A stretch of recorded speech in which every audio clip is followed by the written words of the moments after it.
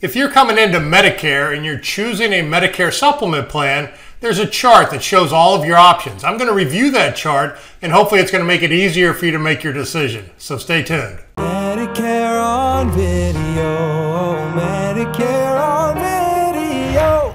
Okay, so let's talk about choosing a Medicare supplement plan. And if you're going to stay in original Medicare, Part A and Part B, you're likely going to have a Medicare supplement plan that covers what A and B do not. I'm Keith Armbrecht. I'm founder of Medicare on Video, and I help people across the country with their Medicare choices, and I can absolutely help you as well. So when you're done with this video, make sure you take a look at my website. I'm to give you a little more information there. I have a tremendous amount of information that's going to help you every step of the way getting into Medicare. So let's talk about the Medicare supplement choices right now. And this is the current chart. And right now I'm making this video. We're in the last quarter of 2019.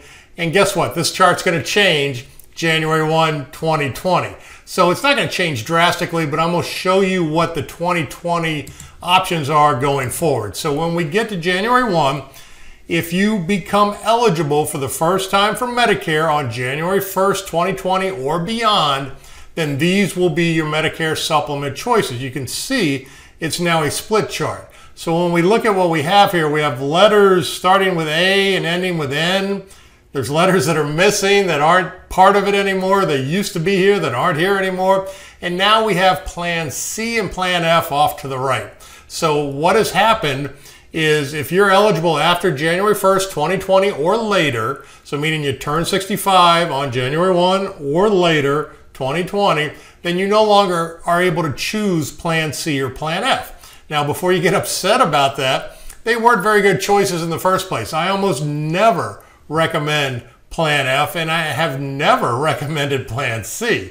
So it's really no big loss. It's just something that they think makes a difference and will better Medicare, which it really isn't. Because going forward, it's just doesn't play that big of a part anyway. So back to our choices between A and N. And really here, we're gonna narrow it down much smaller. And I have videos on all this stuff, so make sure you look through my video library and I'm much more specific on what I think is a great idea where you live. So really, there's gonna be three options. There's gonna be Plan G, Plan N, or in certain cases, Plan GHD which used to be Plan FHD, but is now Plan GHD. So it makes a lot of sense in some of the higher cost areas of the country.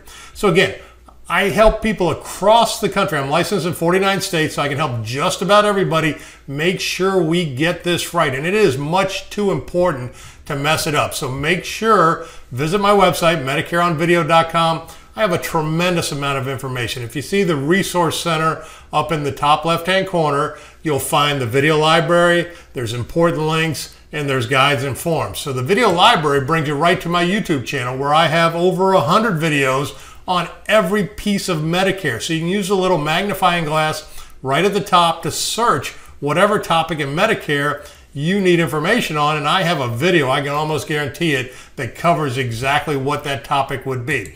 And then if you get into guides and forms, this is where you can find everything you're going to need when you're enrolling into Medicare. And if you're retiring, coming off a group plan, and you're past 65, you're going to need an employer coverage form, which you can get right here. You can download it on your computer. You can send it to your HR department.